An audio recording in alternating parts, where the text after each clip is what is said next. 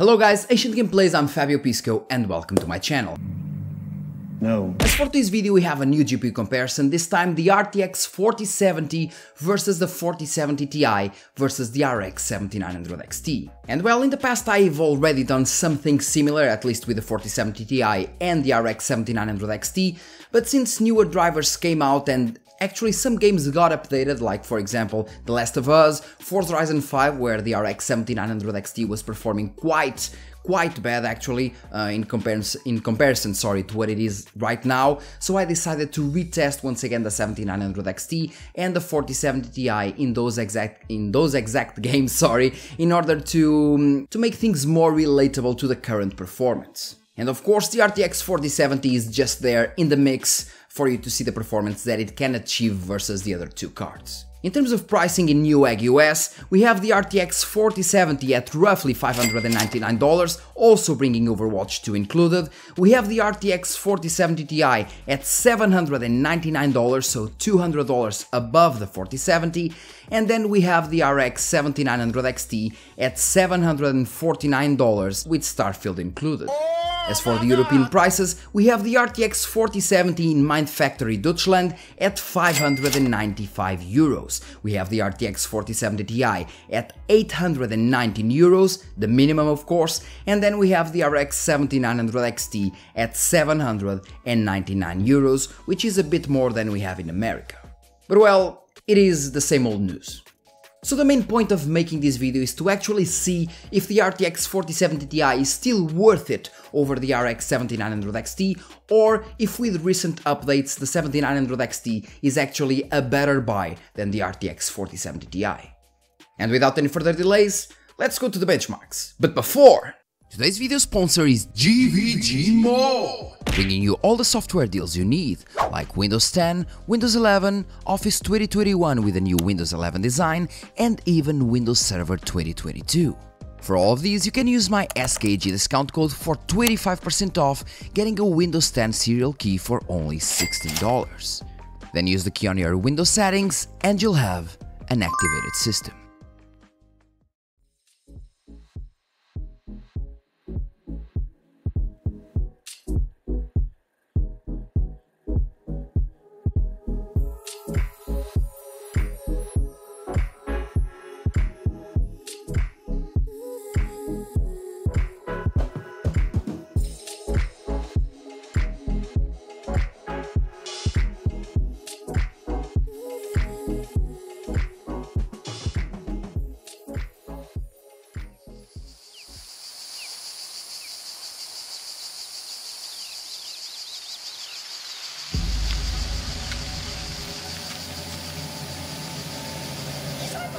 He's to catch us.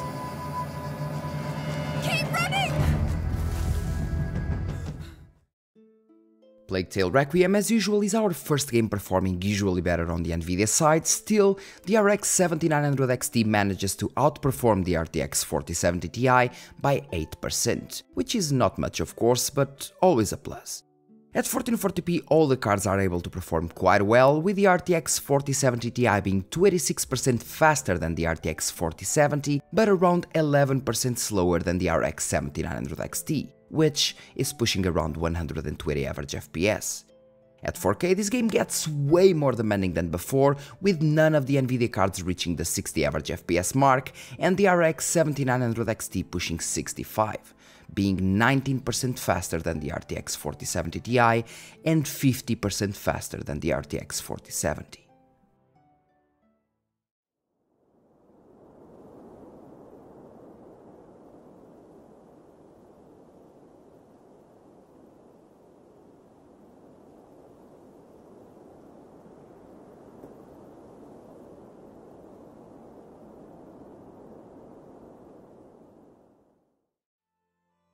Now with Assassin's Creed Valhalla that will be overtaken by Mirage as soon as it gets fixed because yes, it will be broken at launch most likely. In this game the RTX 4000 series from Nvidia work pretty well compared to their previous generation that was being massacred by AMD's RX 6000 series. But at 1440p the RTX 4070 Ti starts losing some ground to the RX 7900 XT that is now 13% faster due to the massive performance uplift given by Smart Access memory.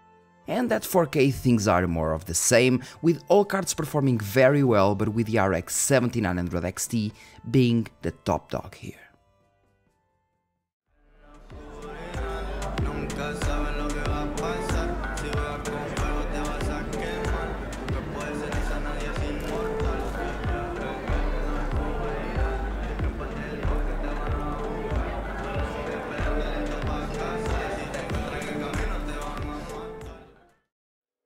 In Cyberpunk 2077 at 1080p the RTX 4070 Ti fares exceptionally well, basically matching the RX 7900 XTX rasterization performance, and we're talking about over 180 average FPS, which is a lot. As we go into 1440p though, the RTX 4070 loses some ground once again, with the RX 7900 XT being the fastest card by 15% with the little RX 4070 also doing a pretty decent job at almost 100 average FPS. And it is only at 4K that we see the biggest difference, as once again the RTX 4070 Ti struggles to reach the 60 average FPS mark, while the RX 7900 XT is pushing 73, being now 28% faster.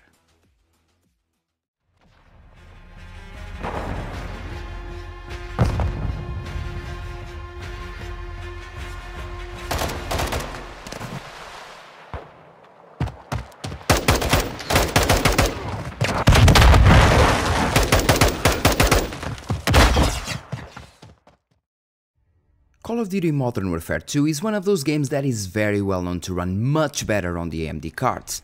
At 1080p the RTX 4070 Ti is not much faster than its little brother, with the RX 7900 XT being 36% faster than the RTX 4070 Ti and 63% faster than the RTX 4070. At 1440p the differences are still huge, with the RX 7900 XT pushing over 170 average FPS, while the RTX 4070 Ti struggles to push 130, which is a major difference mostly for competitive players. At 4K though, all cards can achieve at least 60 average FPS, but the RX 7900 XT still simply decimates the Nvidia cards in this title, which was expected, but always welcomed.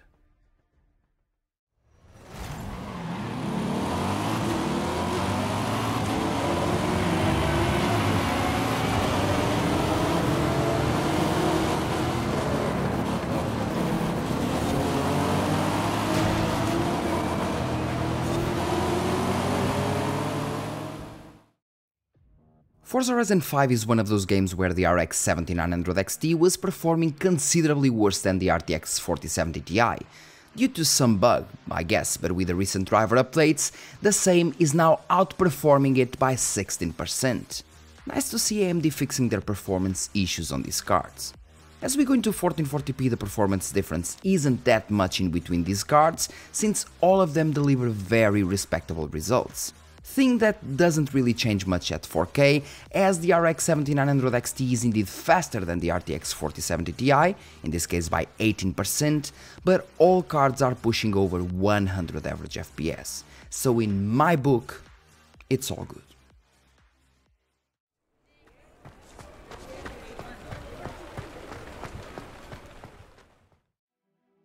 It seems that more and more newer games are making use of AMD's RDNA 3 improvements, and Hogwarts Legacy is one of those games.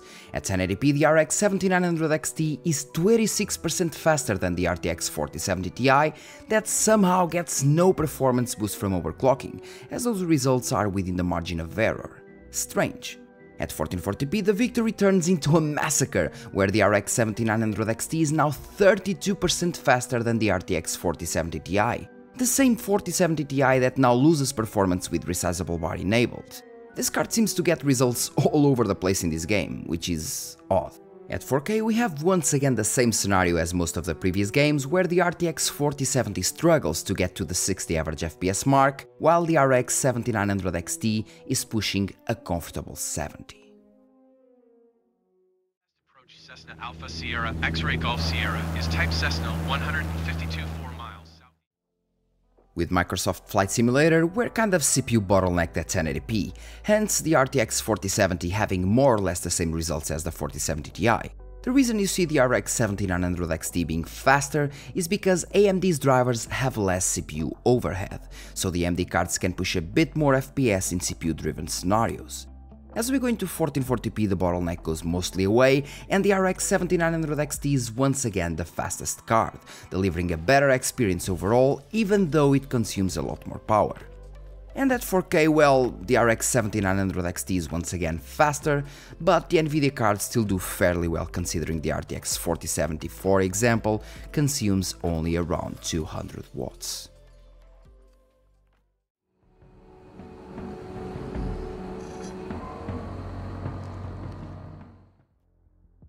Now running Vulkan with Rainbow Six extraction.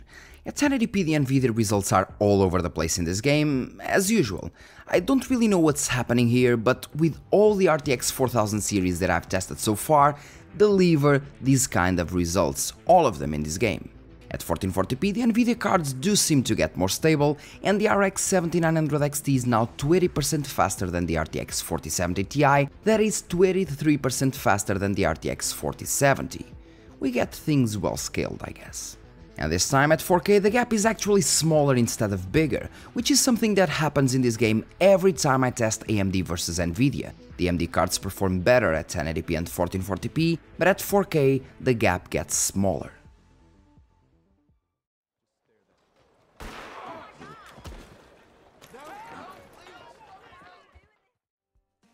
Our second Vulkan title is Red Dead Redemption 2. At 1080p, although the minimums are quite lower with the Nvidia cards, somehow, the averages on the RTX 4070 Ti are actually pretty good, being very close to the RX 7900 XT, thing that doesn't change much at 1440p, where the RTX 4070 Ti's averages are only slightly behind the ones of the RX 7900 XT, which is cool to see as well. And strangely, that gets maintained at 4K, where the RX 7900 XT is not much faster in terms of averages, but delivers a much smoother experience overall.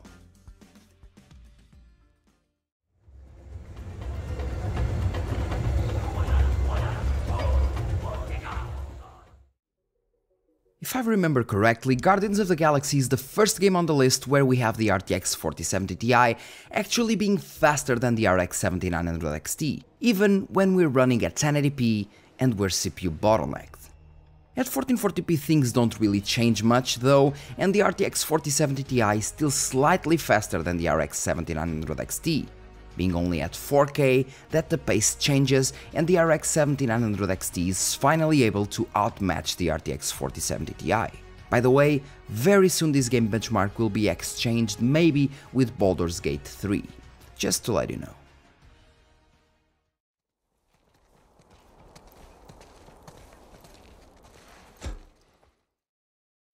The Last of Us, like Forza Horizon 5, was a title where before the recent driver updates, the RTX 4070 Ti was faster than the RX 7900 XT, as can be seen in the non-smart access memory results for example, but with the recent driver updates and game updates, enabling smart access memory, the RX 7900 XT now outmatches the RTX 4070 Ti by 16%. Once again, awesome to see the games performing even better with recent drivers.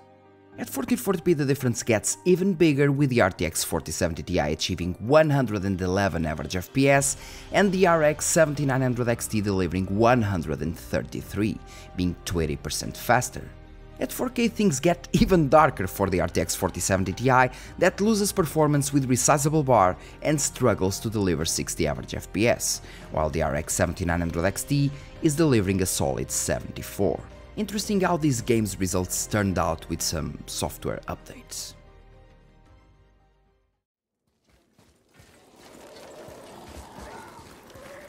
Brother! Our last rasterization title is God of War, where the AMD cards are usually better as well and the RX 7900 XT is no exception. At 1080p it is 26% faster than the RTX 4070 Ti and 56% faster than the RTX 4070. Moving to 1440p doesn't really change the hierarchy, just makes the results slightly different, with the RX 7900 XT still delivering the most FPS, And at 1440p ultra-wide, things are once again more of the same, with the RX 7900 XT consuming a lot more power, for sure of course, but also delivering consistently higher performance. And this all leads us to the 12 games average, where we can see the RTX 4070 Ti being 14% faster than the RTX 4070 at 1080p, 24% faster at 1440p, and 23% faster at 4K, which is kind of okay since we're talking about only a performance tier above. Comparing the RTX 4070 Ti to the RX 7900 XT though, since they currently cost the same, the RX 7900 XT is just overall faster, being around 15% faster at all resolutions in terms of averages and around 20% faster in terms of 1% lows. But once again, take in consideration that not everything is about pure raster performance. So let's see how these cards perform in terms of ray tracing. We're not from here either. Stellantis locked us up here a year ago. As we immediately see with Metro Exodus Enhanced Edition, in terms of full ray tracing performance, the previously faster RX 7900 XT is more or less on the level of a much cheaper RTX 4070, with the RTX 4070 Ti being 18% faster at 1080p, 27% faster at 1440p, and 34% faster at 4K. Although we should note that the RX 7900 XT does have better 1% lows than the Nvidia cards at all resolutions, and it doesn't really matter if you have higher FPS numbers if you're still having stutters as well. In Cyberpunk 2077 things get really bad for the RX 7900 XT though, where it is even slower than the much cheaper RTX 4070, with and without upscaling technologies. I believe this is due to the game's ray tracing also using CUDA cores, at least from what people told me, so with the recent release of ROCm for Windows, if CD Projekt wants to, well, we might be able to see better performance on the AMD cards here. At 1440p it is more of the same, with the RX 7900 XT barely matching the RTX 4070 and being completely stomped by the RTX 4070 Ti, in this case with it being 29% faster without DLSS and 34% faster with it. Crazy. Gladly, Resident Evil 4 does not follow this pattern, as in this game the RX 7900 XT is faster in terms of rasterization and virtually matches the RTX 4070 Ti in the ray tracing performance, which is nice to see. At 1440p things are more or less the same for all cards, with the scaling of the results being oddly equal to 1080p, frankly more than it should be, and at 1440p ultra-wide we see the RX 7900 XT pulling ahead in terms of rasterization, but once again being side by side with the RTX 4070 Ti in terms of ray tracing, which is actually quite impressive. Spider-Man Remastered is quite CPU bottlenecked here both for the RX 7900 XT and RTX 4070 Ti. Once again, the AMD card has slightly better results here due to lower CPU overhead in the drivers. At 1440p the results are actually quite surprising. The RX 7900 XT is not only outperforming the RTX 4070 Ti in terms of rasterization, but also in terms of ray tracing, with the Nvidia cards showing as it seems to be kind of a CPU ray tracing bottleneck, since this game's ray tracing is highly dependent on the CPU.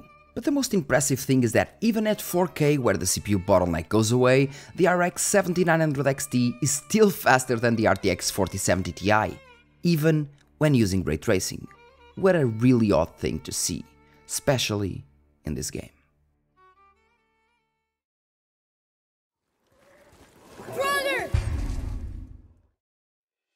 The final part of the video has to do with upscalers. In God of War at 1440p there isn't really much more to see in terms of performance, apart from the poor FPS boost gained with both the RX 7900 XT and the RTX 4070, that somehow deliver around 15% performance uplift compared to the 20% performance uplift with the RTX 4070 Ti thing that completely flips at 1440p ultra-wide, where the RTX 4070 has now the biggest performance uplift, with the RTX 4070 Ti having the smallest one, and with the RX 7900 XT being more or less in line with the previous results. And the last benchmark of today's video is Spider-Man Remastered with all the upscaling technologies at 4K. we can immediately see one thing. XeSS works better with the Nvidia cards than with the AMD ones, as XeSS on the RX 7900 XT delivers only a mild boost over native, while FSR gives a pretty decent boost.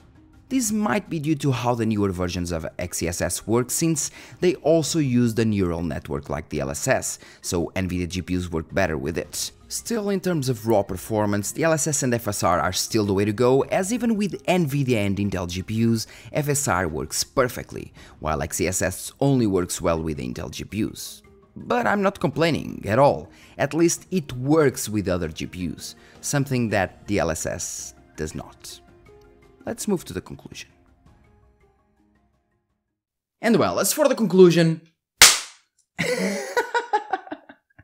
As for the conclusion, well, you actually saw the results, where the RX 7900 XT is usually the fastest card in terms of rasterization, so from let's say 15% in the averages at all resolutions more or less, to let's say 22% in the 1% low, so it not, it not also brings uh, better average FPS, so better FPS overall, but also brings higher smoothness compared to the 4070 Ti. And I mean, even that even happens in terms of, let's say, ray tracing benchmarks, for example, Metro Exodus, where the RTX 4070 Ti is obviously much faster in terms of rasteriz uh, rasterization, much faster in terms of, of ray tracing, of course the results are better, but the 1% lows are much lower than with the RX 7900 XT, meaning that once again, the, well, the smoothness with that AMD card will be much better, and the game will just feel much better overall due to having way higher 1% lows. And with both cards actually costing roughly the same right now, the question still stands in the air which card should you get? Well, in my opinion, as always, it depends. If you want to go cheaper, you have the RTX 4070, which in my opinion is one of the best cards that you can get in this price tag, of course, because although we don't have we don't have that much performance packed in there, we also have just 200 watts of power draw. We, ha we have a card that can be easily overclocked. But on the other hand, if you go to the previous generation cards, let's say like the 3080, or maybe let's say the 6800 XT you have a card performing exactly the same but costing way less. But at the same time you're getting the older generation and not the most recent one. You can't use the LSS 3, you can't use DLSS because you can only use XeSS and FSR and in between many other things you also have higher power draw but in my opinion, if you can get indeed a cheaper RTX 4070 and you don't need more than that, you're playing let's say at 1080p or light gaming at 1440p,